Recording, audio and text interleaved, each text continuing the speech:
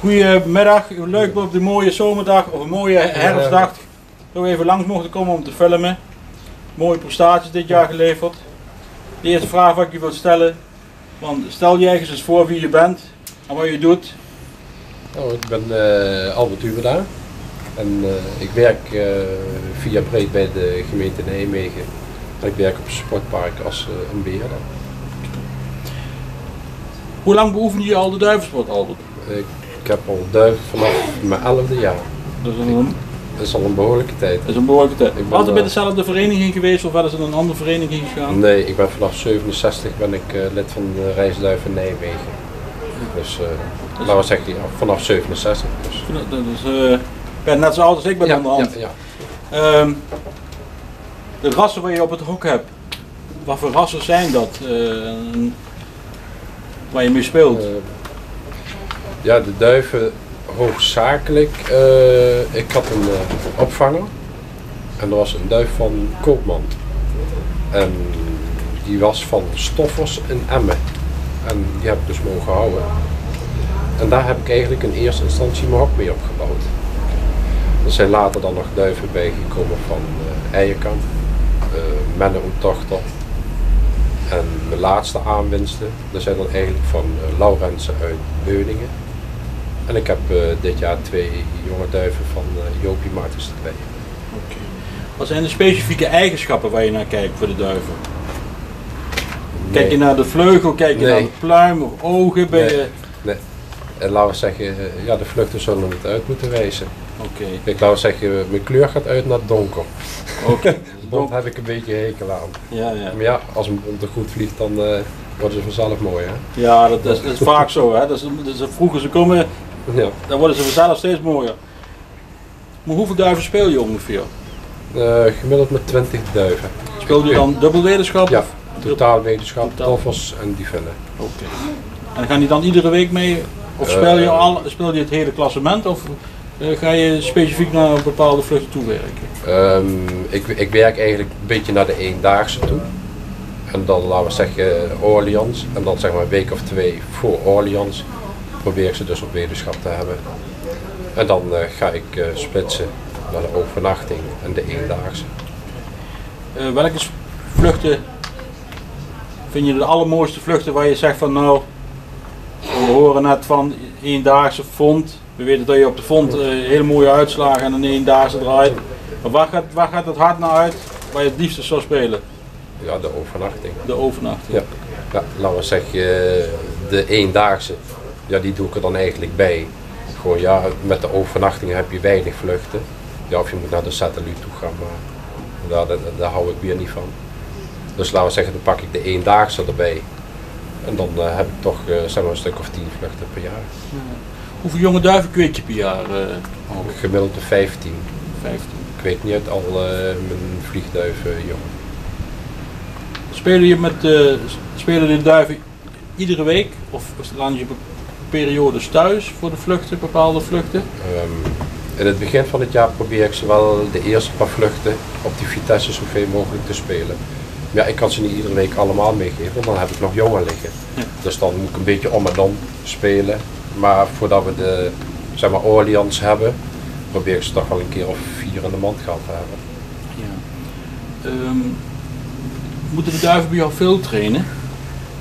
Ehm, ik jaag niet op eh, duiven zoals eh, dat je andere liefhebbers wel eens hoort. Dus laten we zeggen, de wedenaars, die laat ik een uur buiten. Dus als ik ze dus op wetenschap heb. En na een uur binnen. De weduwvinnen, die zijn meestal anderhalf uur tot twee uur buiten. Maar ja, die blijven ook constant vliegen wel. We weten in de kring Nijmegen dat je een eh, keiharde speler bent met zo weinig duiven. Wat heb je afgelopen jaar eigenlijk allemaal gewonnen op het NPO gebeuren, op, eh, op de mooie vluchten zullen we zeggen. Want ik- er zijn nog wat teletextwinnaars eh, hier al op de hokken geweest volgens mij. Ja, maar je bedoelt gewoon van het afgelopen jaar? Ja, van de eh, afgelopen jaren. Ja, in 2006 dan eh, tiende teletext op brief. In 2008 eh, eh, Limoges, negende teletext. En dan dit jaar eh, slag om de taart. Ja. De was echt de kerst erop hè? Ja, dat was, eerste op, het staan. hoe heb je de duif toen Ja. gevonden in het hok? Heb je, hem, heb je hem thuis zien komen of, of, of had hij je verrast? Nou, ik zit nooit achter in de tuin op duiven te wachten. Oké, Ik zit binnen achter de computer. ja. En eh, ja, dan vaak uh, verrast me een duif dan. Nou, nou was ik toevallig dit jaar op KHOS, was ik aan de tafel bezig het een en ander op te schrijven vanwege ja, telefoon, waar wie je moet bellen om te melden en dergelijke. Maar terwijl ik daarmee bezig was, uh, viel die duif in één keer hier uh, op het hak. Dus jij hem niet echt thuis zien komen, Nee. nee. hij zat er in één keer op dak. Ja, hij zat En dan is het even schrikken Ja, natuurlijk. hè? schrikken, ja. Je Ja. eh, Had je van tevoren al gehoord van sommige liefhebbers? Had je al liefhebbers gesproken? Wie zei je van nou, we hebben nog niks of er nog niks gehoord? Of... nou, eh, ik, ik, ik ben niet iemand die anderen op gaat bellen om te vragen, is er iets? Ik ga wel eh, teletext hou ik in de gaten, dus daar was nog niks op. Eh, ik zit op zo'n forumsite op internet. Als daar eventueel eh, iets iemand weet, dan eh, zetten ze het erop. Ja. Dus, eh, Hoe heb je die duif zo ver gekregen? Hoe heb je hem daar naartoe gebracht, eh, Albert? ja, ik heb hem dus in het begin van het jaar, wat ik net dus ook al een keer gezegd heb, op die eerste korte vlucht een keer of vier in de mand gehad. Ehm, er zit nog wel een verhaaltje dus bij deze duif. Op eh, brief was de eerste overnachting waar die heen ging en eh, dan kwam hij pas de volgende dag thuis. Hij was wel gewond, dus eh, ik was al bang dat ik het hele jaar niet meer zou kunnen spelen. Maar een anderhalve week voordat we Carlos hadden, laten we zeggen, ja, hij vloog al zo goed rond hier weer. Dus eh, hij was helemaal in vorm. Kijk, en ik stond te twijfelen, wel spelen, niet spelen. En eh, ja, ik dacht bij mezelf van weet je wat, ik breng hem eens naar Eindhoven om te kijken gewoon wat hij doet. Nou, van Eindhoven kwam hij eh, goed terug. En dinsdags heb ik hem dan ingekropt op Carlos. Dat was wel een, Dus- andere, was wel een andere afstand dan, zes- dan, de, dan Eindhoven. Ja, dan Eindhoven, maar de Eindhoven was gewoon een testje om te kijken van Ja. wat doet hij. Nou, dat je zegt, eh, we brengen ze naar Eindhoven. Breng je de duiven vaker weg in het midden in het seizoen? Of, eh, Nooit. nooit? Maar deze duif was gewoon thuisgekomen van brief. Dus daar, daarvoor doe je... En die durfde ik niet eh, op een eh, vlucht te spelen. Bang van ja, laten we zeggen, moet hij 300 kilometer vliegen. En hij kan er maar 100. Dan zit hij in België of Frankrijk. Ja. Ja, en dan moet je maar afwachten of dat hij nog thuis komt, ja of nee. Ehm, wat is het voersysteem waar je hanteert bij de duiven? Eh, ik, ik heb geen eh, voersysteem. Eh, ik voer gewoon ruim, gewoon op de vloer. Een voerbak heb ik niet. En eh, ik kijk eh, naar de duiven van of dat ze genoeg hebben, ja of nee. Dus de ene dag is het iets meer, de andere dag is het weer iets minder. En in het vliegseizoen sla ik ook wel eens een dag over. En de, geef je de duiven ook nog eh, thee of ehm, wat medicijnen? Zullen we zeggen, iets, je hoort veel mensen aan de luchtwegen of uh, daaraan voor het of zo. Doe je dat ook? Of ik, ik hoor vaak van uh, overnachting, die overnachting spelen van de duiven moeten zich eigen maar kunnen redden. En zo min mogelijk geven, want dan hebben ze de meeste weerstand. Hoe is het bij jou?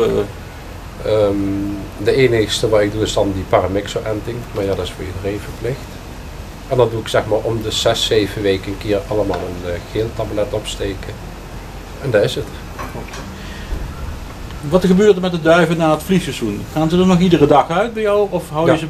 Altijd, de hele winterdag door. Iedere Als het dag? maar eventueel redelijk weer is, dan gaan ze eruit. Alleen bewijselijk vanwege het werk.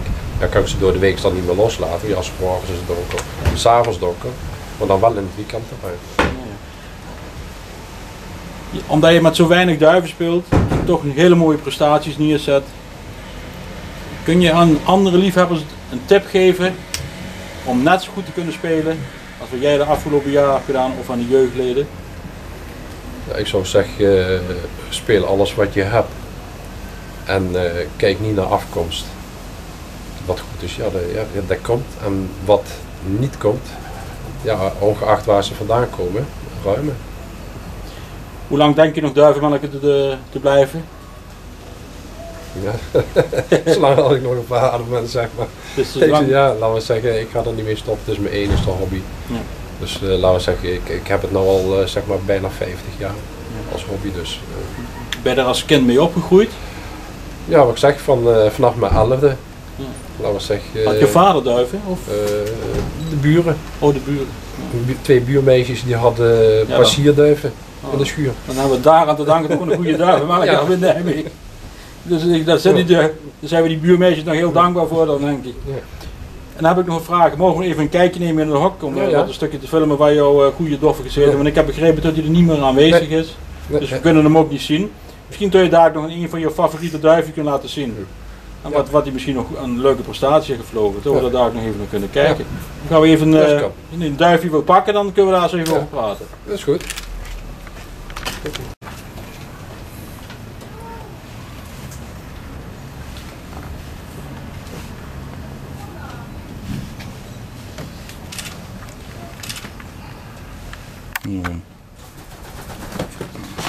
Kijk, en, dat is gewoon ook gewoon in het vliegseizoen zo. Dus eh, Ja. Eh, ik maak misschien eh, een keer of drie per jaar maak ik misschien een keer het hok schoon. Ja, en, en, en, en dat is het. Er zit toevallig ook een donkere. Dat is goed.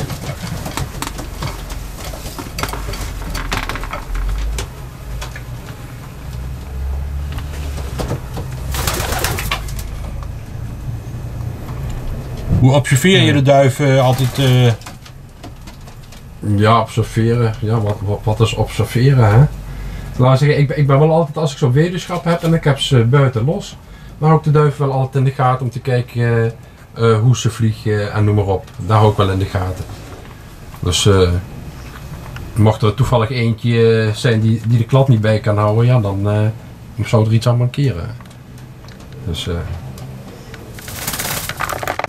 Oké Albert, dat is een van je favoriete duiven. Vertel er eens iets Ja. meer over, over die duif van je. Nou, eh, zoals ik straks al verteld heb gehad, had ik een, eh, een duif van Koopman. En eh, die heb ik dus uitgeleend gehad aan Jopie Martens. En Jopie Martens, die had een doffer, een hele goede overnachter. Die kwam van Adje Hendricks af. Maar Adje Hendricks had die duif weer van Hent Maasen, als ik het goed begrepen heb. En die noemden ze de slachter. Maar hij zat bij eh, Adje Hendricks als slachter in de man. Joopie heeft hem meegenomen met eh, hele goede prestaties op de overnachtvluchten. Dus ik zeg tegen Joopie van, je leent van mij die koopman die fan voor ja, jongen dus te kweken. Ik zeg maar voordat ik die, die weer terugneem, ik zeg moet je eens tegen die slachter aanzetten, tegen die overnachter. En dat heeft hij dus gedaan.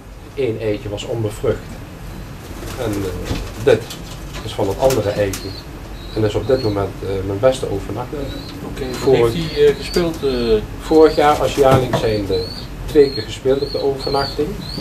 Op, eens even kijken, Berritjeun. Maar dan moet ik liegen, hij zit in ieder geval bij de eerste team bij ons in de vereniging. En op Bergerac zat hij eerste bij ons in de vereniging. Dit jaar heb ik hem drie keer op de overnachting gespeeld. En drie keer hebben. Dus eh dit is de enigste jonge duif nog uit die eh, slachter. Oké. Ze hebben daar allemaal jonge duiven uitgekweekt gehad. Niemand heeft er ooit één jongen van over kunnen houden. Behalve jij. Ik één eitje bevrucht, Ja. maar wel samen met die uh, Eh, bedankt voor, voor de uitleg. En ik hoop dat ik jou het einde van het seizoen nog een keertje bij ons in de. Duivenclub zie. Dat je dan even naar de film komt kijken. En ik wil je Ja. zeggen, in ieder geval hartstikke bedankt. Ik zei, wil je misschien nog iets kwijt aan de mensen die er dadelijk komen kijken naar de film? Nee, ik zou niet zo weten. Nou, in ieder geval hartstikke bedankt. En eh, ja, we zien je binnenkort wel weer een keer. In ieder geval bedankt. Te danken.